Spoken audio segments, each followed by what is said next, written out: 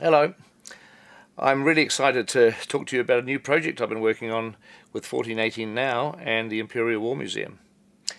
The Imperial War Museum approached me a couple of years ago um, and they asked me what could be done with their original First World War footage in a way, just to present it in a way that hadn't really been seen before. And I thought about all the digital technology that exists today um, and, and can we restore that footage and make it look new and make it look sharp and uh, you know in a way that goes way beyond what has ever been done before. So we did some tests and uh, the results were, I mean, they really surprised me. They they were unbelievable. We can make this grainy, flickery kind of you know sped up footage look like it was shot in the last week or two. It looks like it was shot with high definition cameras. It's so sharp and clear now, and so we are making a film, and, and, we're making a film not the usual film that you would expect on the First World War. We're making a a, um, a, a film that that shows this incredible footage in which the faces of the of the, of the men just jump out at you. It's the faces, it's the people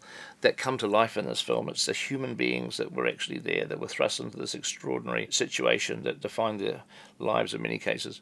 And we also, in accompanying these these restored images, we have gone through about 600 hours of um, audio interviews with with our veterans, you know, in the 1960s, 70s, 80s, and we have we we we we've made a movie which is is to is to show the experience of what it was like to fight in this war, not strategy battles. You know, not, we we don't talk about any, any historical you know aspects of the war. Particularly, we just talk about the social experience of being in this war, and the human experience of being in the war. And it's actually amazed me what some of these people, or what some of the veterans, I mean, their, their interviews I've never heard before, and, and, they talk about it in a way that's surprising. We have a sort of a cliched version of the war. I guess we, we now, a hundred years later, we have made up our own minds what this what the First World War was like.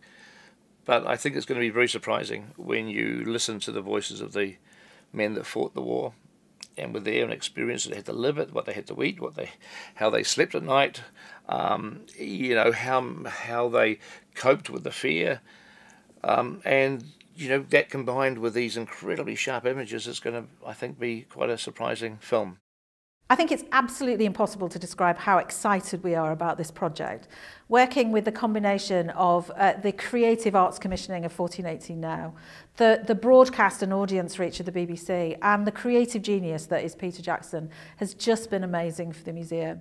It's a unique opportunity for the archives because what we want to do is to take film that is very often dismissed by audiences because it's black and white and use it in a colorized way to engage young people in a conversation about the First World War that perhaps they wouldn't encounter.